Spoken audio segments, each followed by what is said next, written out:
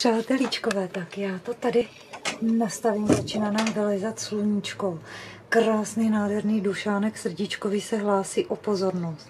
Chlapeček nám papá, chlapeček funguje, ale my jej sledujeme, čas od času děláme sonografii bříška, aby jsme se přesvědčili, jak to v tom bříšku vypadá. A on je to kocourek, který má útvar v bříšku. Navzdory tomu, že papá, navzdory tomu, že se mu daří v tuhle chvíli dobře. Má tam útvar, je to kocourek, který je FELV pozitivní.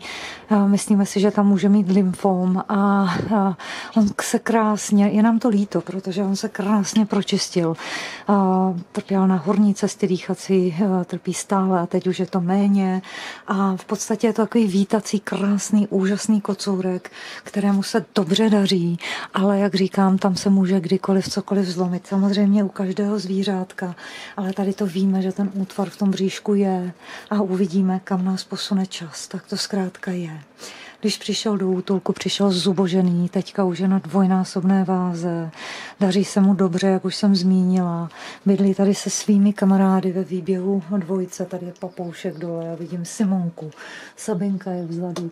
Úžasný, úžasný kočičky, takže vás chtěl Dušánek pozdravit, říct vám, že je to prima a že ho život baví, ale že zkrátka dobře vás budeme informovat, jak se ten zdravotní stav jeho vyvíjí nadále, co se všechno bude dít dít, jak se bude dít a vy se mějte krásně, děkujeme, nashledanou, ozveme se zase, moc mu to sluší v tom slunečním svitu.